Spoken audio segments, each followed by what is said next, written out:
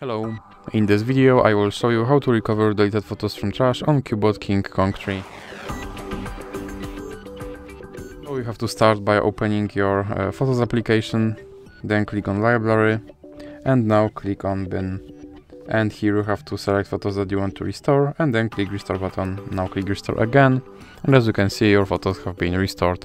So that's it for this video, if you liked it, please remember to leave like and subscribe.